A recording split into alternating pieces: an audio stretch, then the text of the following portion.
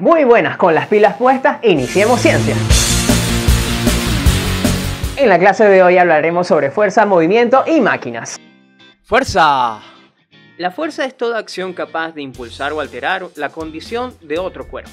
Con ella puede moverse un objeto o cuerpo estacionario. Del mismo modo, detenerse un cuerpo en movimiento. No intenten esto en casa.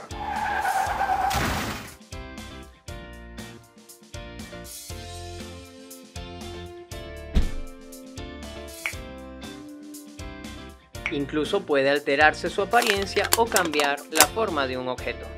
Movimiento. El movimiento es una respuesta física de un objeto o cuerpo en reposo el cual alteró su posición o lugar original a otro.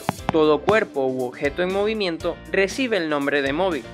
Pero si uno se mueve, ¿cómo sabe dónde uno se movió? Eso se sabe gracias a un sistema de referencia. Se conoce el sistema de referencia al cual nos asociamos como una guía que tiene direcciones o trayectoria a la cual nos movemos, como a la derecha, a la izquierda, atrás y adelante. Esto también se va a aplicar para un eje de coordenadas. Más adelante los explicaremos con detalle. Máquinas. Las máquinas son instrumentos o aparatos que aprovechan una fuerza para ejercer un trabajo determinado. Ninguna máquina funciona por sí sola, toda máquina necesita de alguna fuerza o fuente de energía para hacer su trabajo.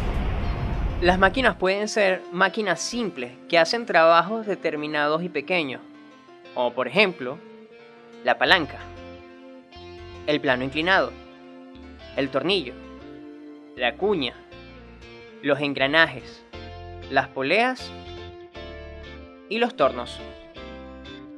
Esos son solo algunas máquinas simples, existen un montón más. Pero ahora vamos a ir a las máquinas compuestas. Las máquinas compuestas son un conjunto de máquinas simples que trabajan armónicamente para un fin mayor. Esas pueden ser los carros, los aviones, los trenes, los buques, los reactores nucleares. Uy, creo que va a explotar.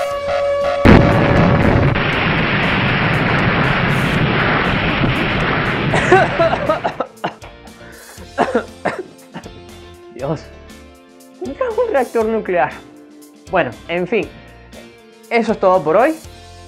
Nos vemos para la próxima. Cuídense.